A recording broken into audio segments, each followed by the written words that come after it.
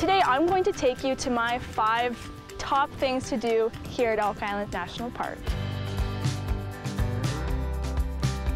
Wildlife viewing is a huge thing to do here at Elk Island. Plains bison and their larger cousins, the wood bison, are two of the species that we protect here at Elk Island. You can see something like this with babies and bison mamas frolicking in the sunshine. One of our main attractions beyond bison uh, is Astotin Lake which is one of our most popular visitor spaces because it offers so many different opportunities to adventure.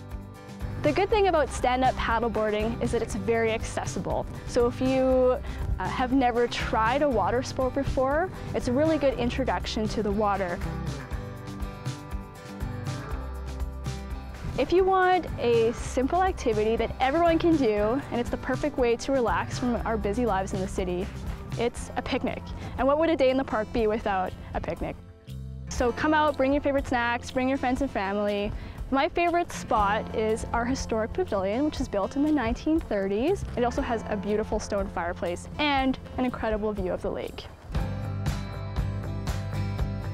Perhaps I'm a bit biased, but one of my favorite things that makes Elk Island unique is our interpretive programs. So you don't really need grabbing teeth, you just need something to cut the grass and then start chewing.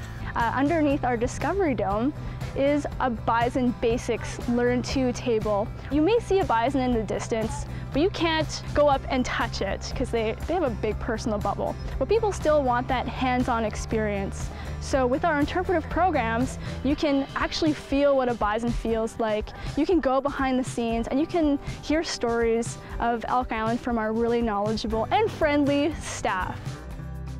A must-do at Elk Island is to find our red chairs.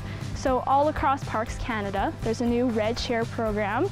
So there's these beautiful red Adirondack chairs that are strategically placed in the most scenic locations. So the idea is uh, after you take a selfie of you relaxing in your chair, use the hashtag share the chair so you can share your experience with Parks Canada visitors from all across the country. The take-home message about Elk Island is it's Edmonton's nearest getaway. Uh, we're a refuge for both wildlife and for people who want to take a break from their busy city lives and relax with their friends and family.